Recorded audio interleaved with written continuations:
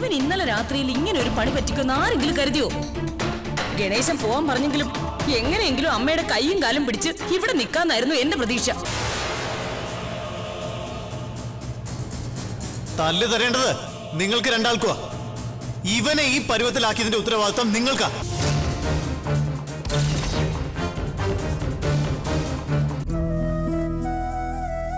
ഇതിനകത്ത് എല്ലാവരും ഉണ്ട്. മുത്തശ്ശന്റെ അച്ഛനും മുത്തശ്ശിയുമൊക്കെ ആരാധിച്ചിരുന്ന എല്ലാ ദൈവങ്ങളും ഉണ്ട്.